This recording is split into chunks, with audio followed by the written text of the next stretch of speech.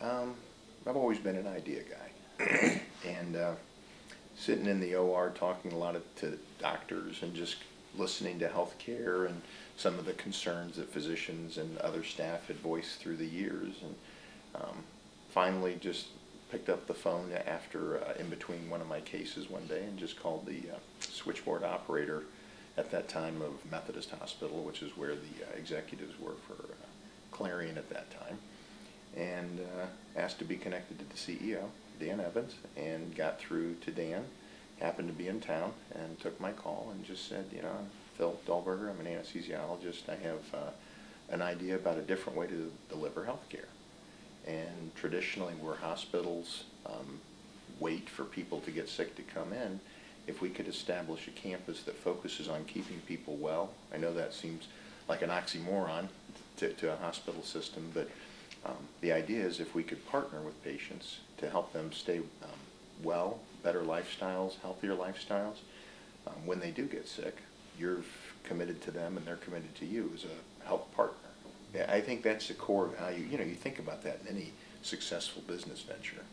You know, Southwest Airlines, I was reading about them, but how do you want to be treated as a customer, you know, or a passenger in Southwest? How do you want to be treated as a patient or as a guest? I like to actually refer to our patients as guests. It gives us a different mindset and keeps us in touch with that experience concept. So um, that's, that's a mantra that we're using here and across IU Health is more around uh, patient experience. So exactly what you said is, how would you want to be treated?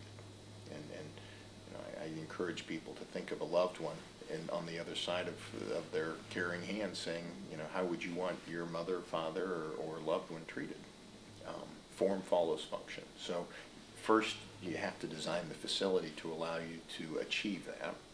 And then secondly, um, you have to pump the life through the facility, which is our resources or our staff partners, to make sure that they're carrying out that vision of uh, preeminence and, and that experience. Um, so you can have a beautiful facility, but if you have um, a bad, you know, kind of personnel, then you're not going to end up with a great experience. So the goal would be to have people walk out of here and say that didn't feel like a hospital. That was that was an experience, and they really felt like a partner in, in my care process clinical care is where my passion is. So we're back into what the original intent was six years ago during that phone call is now, you know, um, caring for patients. There's a passion for continuing because of the economic changes in the environment, some of the original design of the fitness facility, things like that. And I'd like to see that brought in as well. Um, but yeah, I, I, I do see myself doing this. I like interacting with people. I like problem solving. I like system type thinking. So I, am very blessed to be in IU Health and the, the opportunities that it brings.